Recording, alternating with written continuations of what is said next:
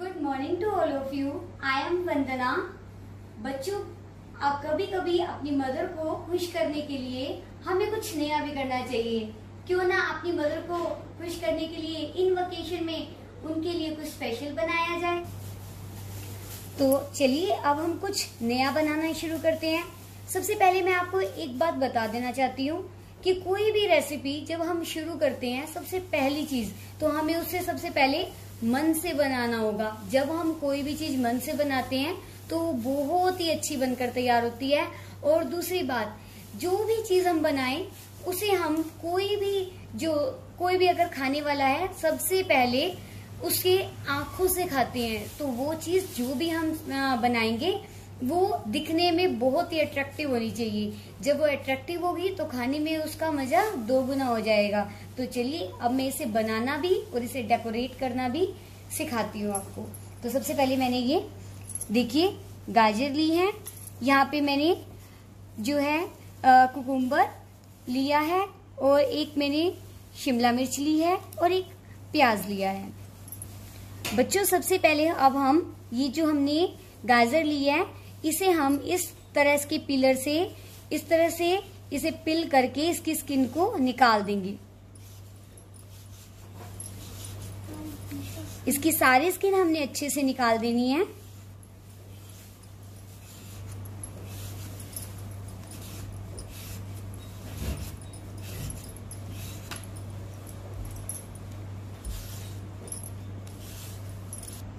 अब हमने इसे पिल कर लिया है इसकी स्किन को। अब जो इसके पीछे का जो ये पोर्शन होता है, इसे हम कट कर देंगे। और आगे से भी थोड़ा सा पोर्शन हम कट कर देंगे। क्योंकि ये थोड़ा खराब होता है, इसे खाने में यूज़ नहीं करते हम। तो इसलिए हम इसे थ्रो कर देते हैं। अब हमने अपनी सारी वेजिटेबल को पिल कर लिया है। अब हम इसे एक अच्छी तरह से दो से तीन बार वॉश करेंगे। अब हमने सारी वेजिटेबल अच्छी तरह से वॉश कर ली हैं। शिमला मिर्च का मैंने एक ही पोर्शन लिया है, बिल्कुल थोड़ा सा ही, क्योंकि हमें इसकी इतनी ही नीड थी। अब मैंने ये इस तरह का ग्रेटर लिया है। इसे हम, जो हमने, जो गाजर है, उसे हम इस तरह से ग्रेट करेंगे।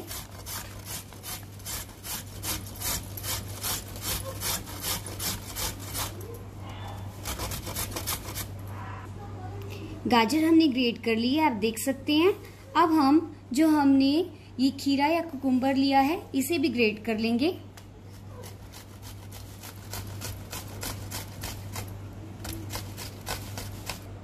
इन दोनों को हमने ग्रेट कर लिया है। अब जो हमने शिमला मिर्च ली है, उसे हम बिल्कुल बारीक बारीक कट कर लेंगे।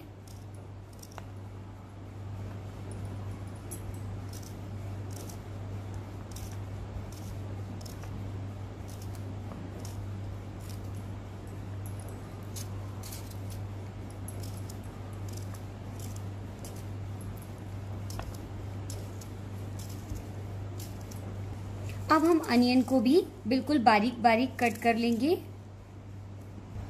इसे भी हमने प्याज को कट कर लिया। अब सबसे ज़रूरी बात, जो हमने यहाँ पे जो एक कुकुम्बर लिया था, इसके अंदर पानी होता है। सबसे पहले हम इसे अच्छी तरह से निचोड़ कर इसका पानी अलग कर देंगे।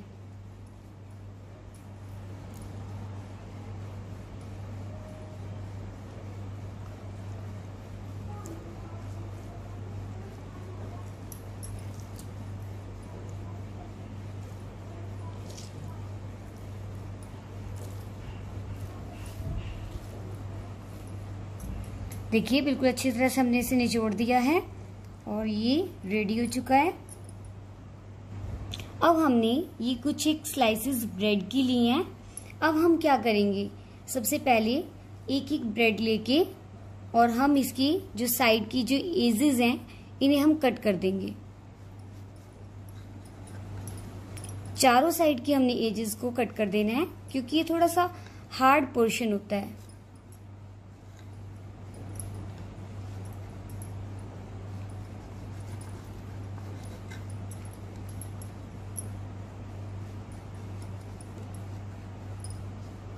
और इसे हमने वेस्ट नहीं करना है, इससे भी बहुत सब कुछ बन जाता है।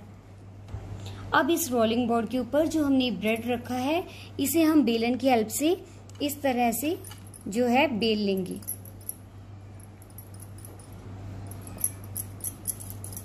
और ये हमारा एक ब्रेड तैयार हो गया है, इसी तरह से हम बाकी के सारे भी रोल कर लेंगे। अब हमने इसे और भी अट्रैक्टिव बनाने के लिए मैंने यहाँ कुछ एक सब्जा के बीज लिए हैं उसे मैंने रोलिंग बोर्ड के ऊपर अच्छी तरह से फैला दिया है। ये देखिए।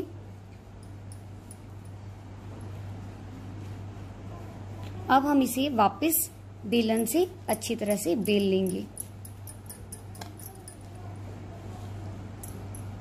और अब देखिए, ये और भी अट्रैक्टिव हो गया ना तो इसी तरह से हम बाकी के भी तैयार कर लेंगे। अब एक बाउल लिया है मैंने। इसके अंदर टू टेबल स्पून मैंने यहाँ पर जो मिक्स हर्ब म्यूनीज है, वो ली है। आप चाहे तो सिंपल म्यूनीज भी ले सकते हैं। तो मैं इसे इस बाउल में ट्रांसफ़र कर दूँगी। और अगर आपके पास म्यूनीज भी ना हो तो आप उसकी जगह पर मलाई भी ले सकते हैं। और इसके अंदर, अब मैं ये एक चम्मच, मैंने टमाटो केचप भी लिया है, लेकिन उसे इसके अंदर इंक्लूड नहीं करूँगी मैं। अब जो हमने वेजिटेबल्स ली थी, थोड़ी सी हमने जो गाजर लिया है, वो इसके बीच में डाल देंगे। कैप्सिकम अनियन कुकुम्बर इन सबको हम अच्छी तरह से मिक्स कर देंगे।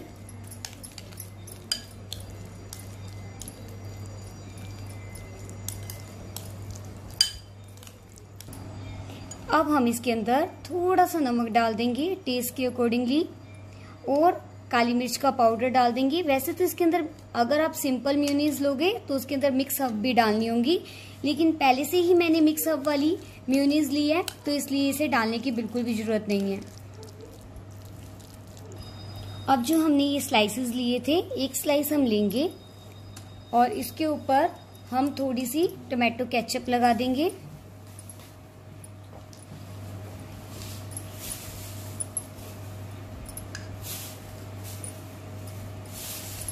और जो हमने ये मटेरियल तैयार किया था, इसे भी लगा देंगे और स्प्रेड कर देंगे।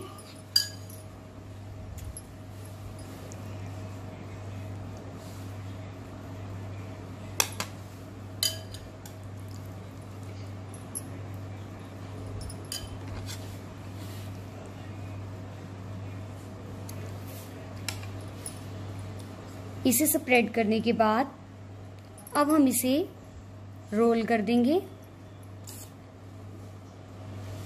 देखिए, हमारी रोल हो चुकी है। और अब हम इसे नाइफ से टू पीसेस में कट कर देंगे।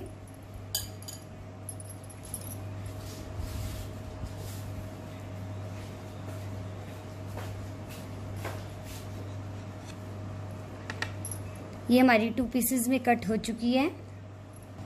अब इसे और डेकोरेट करने के लिए मैंने ये टूथपिक ली है और एक मैंने यहाँ पे स्ट्रॉबेरी चेरी ली है सॉरी और इसे हम इस तरह से लगा देंगे इसके बीच में और फिर इसके बीच में इस तरह से सेट कर देंगे।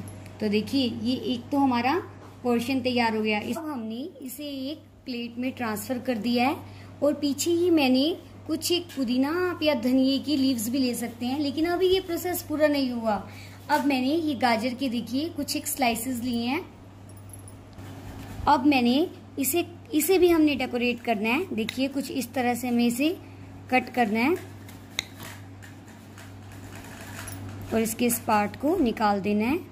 और बाकी के भी सारे इसी तरह से हम इसके पार्ट्स निकालते जाएँगे। देखिए, कुछ इस तरह का व्हील तैयार हो जाएगा। इसे हम, इसे इन लीव्स के ऊपर रखेंगे ताकि ये थोड़े और अच्छी लुकिंग दें। इस तरह के हम बाकी के भी चार पाँच व्हील तैयार कर लेंगे। देखिए, अब हमने इसे डेकोरेट भी कर दिया है। इस तरह के व्हील बनाकर, वो भी गाजर के। देखिए, अब कितना अच्छा लग रहा है इसे देखने में भी और खाने में भी, ये उतने ही टेस्टी हैं। क्योंकि जब हम कोई भी चीज़ बनाएँगे तो उसे पहले आँखों से ही खाएँगे। अभी देखने में कितना अट्रैक्टिव है। अगर इससे रिलेटेड आपको कोई भी क्वेश्चनिंग करनी हो तो मुझे आप कमेंट बॉक्स में पूछ सकते हैं क्वेश्चन थैंक यू